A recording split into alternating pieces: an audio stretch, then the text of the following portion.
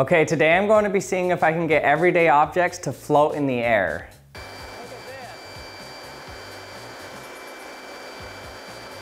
Okay, so the way I'm going to be doing this is by using a fact that states that when a fluid goes faster, the pressure is lower.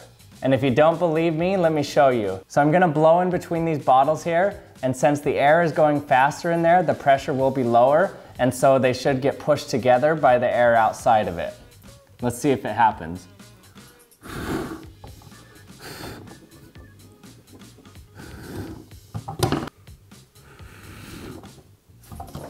So you see, every time I blow in between them, they get sucked together.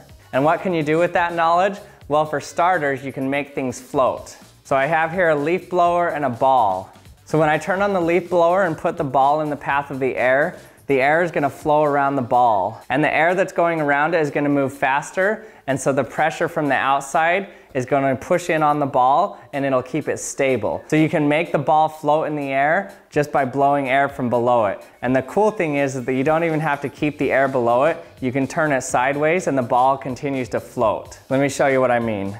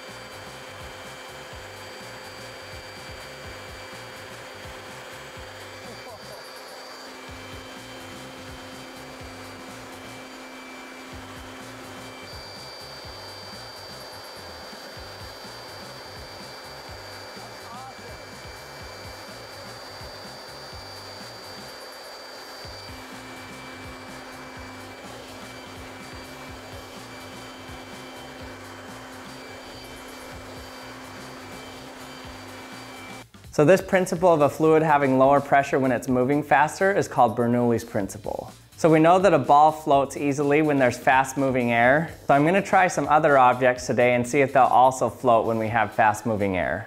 So I'm gonna try a lemon, a bowl, a ball with holes in it, and a small rocket.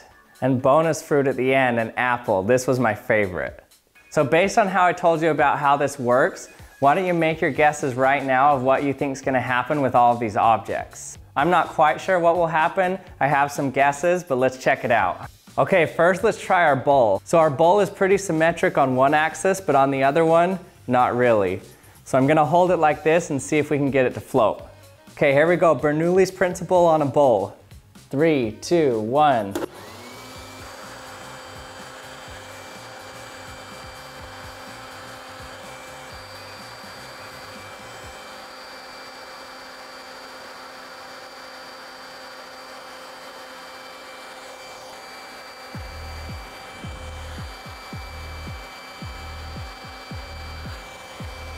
Okay, so the ball just wasn't stable enough to stay in the path of the air.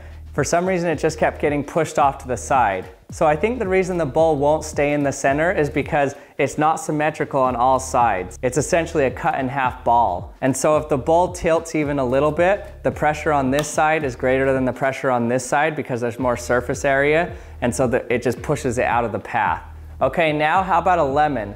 So a lemon is pretty symmetrical. So let's see if that will help it be more stable in the stream. Okay, floating lemon, three, two, one.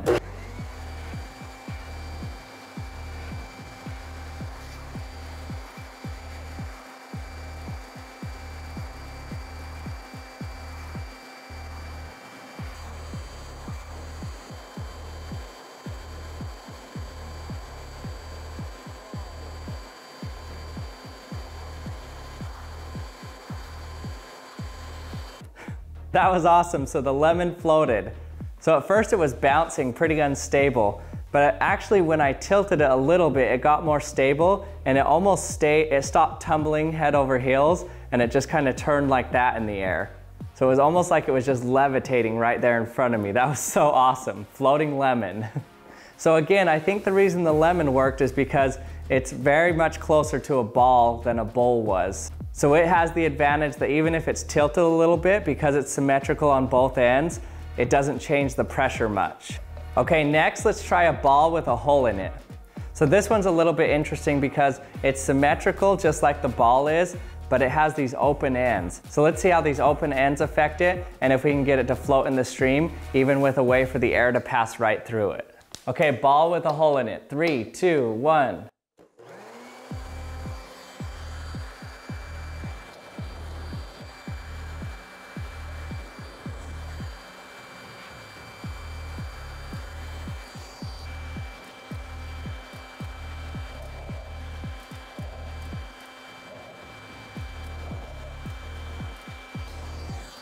So it looks like the ball with the hole in it also worked, but a lot more unstable. I think it's because of these edges, these open edges. Essentially, if the air catches it, it just pushes it out of the stream. Okay, last we'll try the rocket. So the rocket has the advantage, it's very aerodynamic. It's symmetrical through one axis, but not the other one. Okay, floating rocket, three, two, one.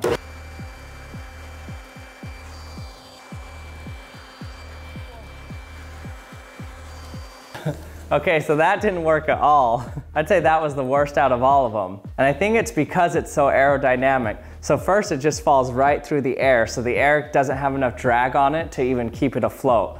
And then the other thing is, of course, that if it starts to tumble, then again, the pressures aren't equal at all, and so it just gets pushed out of the stream. And especially if it catches these fins, it just throws it out of the way. So it looks like the lemon and the ball are the best. Now we know that a lemon works, let's try some other fruit just for fun. Okay, let's try an apple.